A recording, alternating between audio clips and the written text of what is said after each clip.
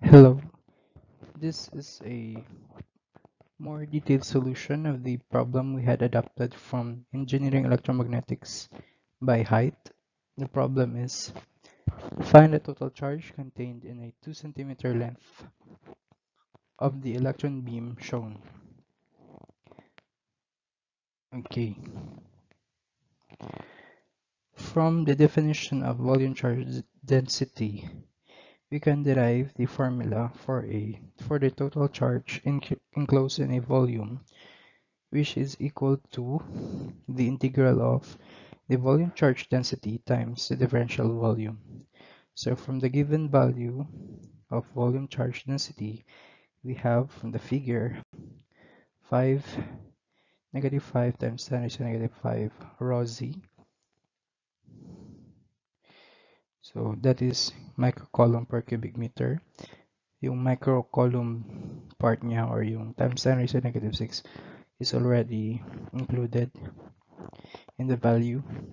And na-discuss na sa atin kung ano ang differential volume kapag cylindrical coordinate system. That is rho d rho d phi dz. Okay, you can simply substitute these values to our formula. We have, since we are integrating all throughout the volume, we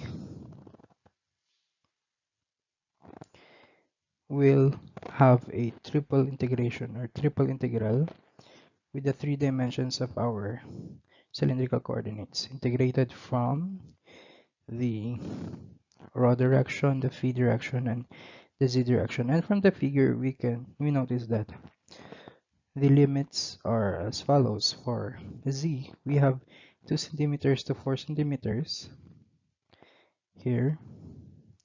But in SI unit, we will change that into meters. So that is equivalent to, yes, 0.02 to 0.04 meters for the angle phi since it is a complete cylinder. Okay it implies that we will be integrating from 0 to 2 pi or the complete 360 degree angle but in radians so we will use 2 pi. And the radius of the cylinder or rho is from 0 to 0 0.01 centimeters or meters. Okay 1 centimeter converted to meters. Okay. The is, hanapin natin kung saan yung pinakamadaling mag-integrate. So, makikita natin that this function, okay, the volume charge density is a function of rho and z only. So, mas maganda na unahin natin yung integration at the phi because very directly naman yan ang integral ng d phi cancel lang yung integral. That would be the value of phi evaluated from 0 to 2 pi. And that is 2 pi minus 0 so that would be equal to 2 pi. So yung value ng 2 pi ay i-multiply lang natin dun sa natira dun sa triple integration natin So, ito na po yung mangyayari. Nawala na rin si integral ng dphi from 0 to 2 pi dahil ayun na nga, 2 pi na siya. Na-evaluate na, na-simplify na.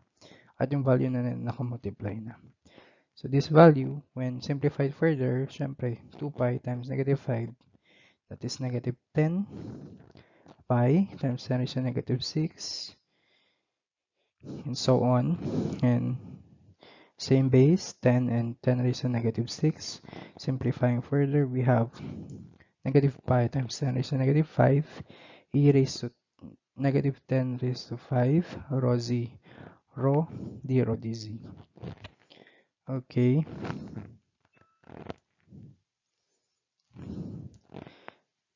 So, pwede na tayong mamili kung sino ang sa dalawa yung unahin natin. Pero, mas pinili kong unahin mag-integrate kay dz and Of course, alam na natin na property na integral, kapag nakamultiply tayo ng constants, pwede nating ilabas yun sa gilid.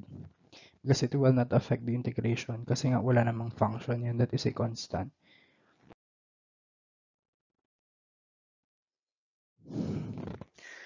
So, Ayan, pwede natin ilabas na si negative 5 times 10 raised to negative 5. And then, I will, we will integrate on dz. Okay. With the limits from 0.02 to 0.04. Okay, para mas madali at hindi natin hindi tayo malito, tatanggalin ko muna itong mga nasa naka-enclose ng blue rectangles separate ko muna sila. Then, yung makukuha kong sagot ko rito, i-multiply ko dun sa kung ano mang matitira dun sa integral natin.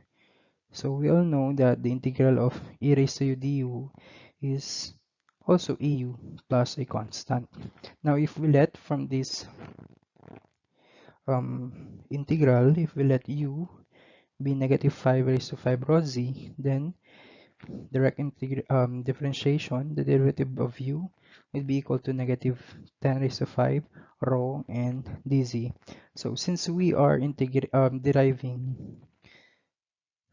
uh, with respect to z and, and also when we integrate with respect to z here, we will treat other variables as constants. So yung rho, hindi natin i-derive because we are only deriving and soon here we will only be integrating with respect to z.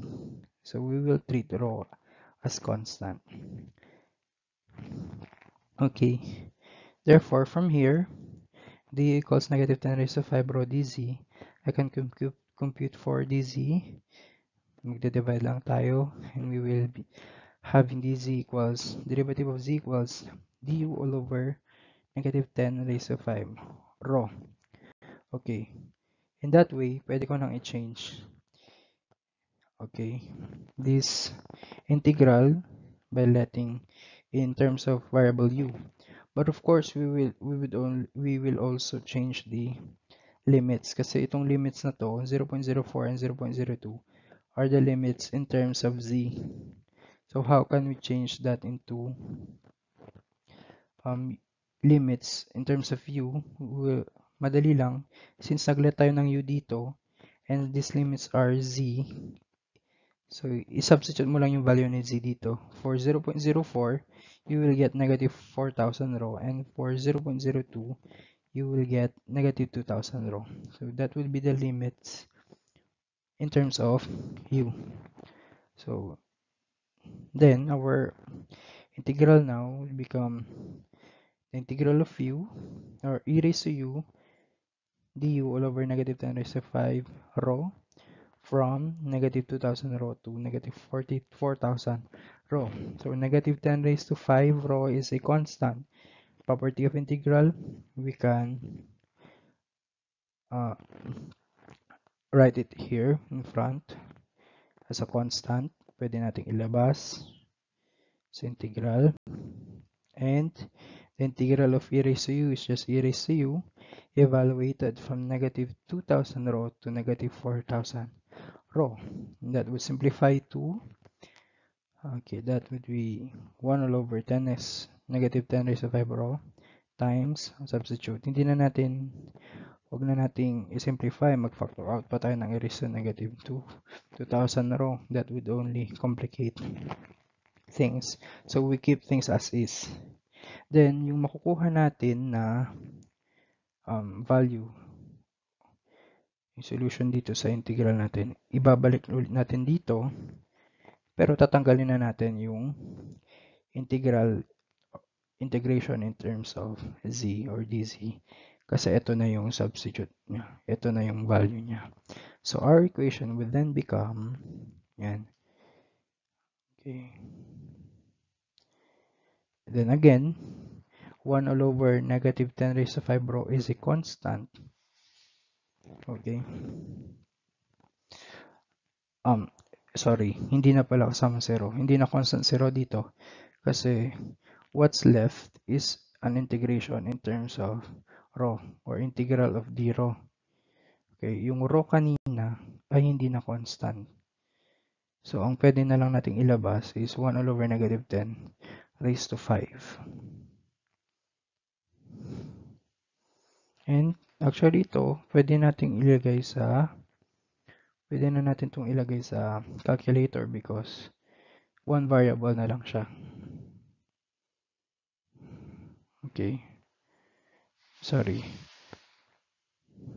Yung row dito, dapat makakancel niya na yung row doon.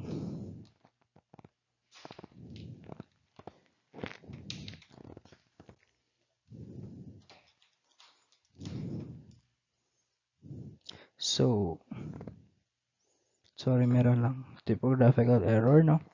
Dapat wala na yung row dito dahil makakancel niya na yung row dito sa baba. Then, itong 1 all over negative 10 raised to 5 ay pwede nating ilabas doon. At pag sinimplify natin, dapat wala na itong row dito. Kasi nga nag-cancel out na. Okay. So, paki-correct na lang po. Ayan, yan, pwede na nating ilagay sa pwede na nating ilagay sa calculator.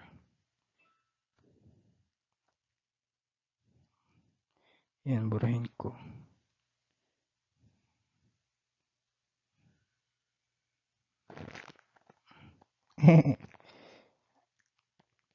Mm. So, kunwari wala na yung raw. Pwede na natin ilagay directly sa calculator to. At kapag nilagay natin directly sa calculator, of course, sa calculator, walang variable na row. Ang ilalagay natin doon, x. Kasi automatic naka-dx yung value natin na integral dun sa calculator. Paglagay natin ng values, masolve natin that q is negative 78.53 femto column or that is ang exponent ng femto is negative 15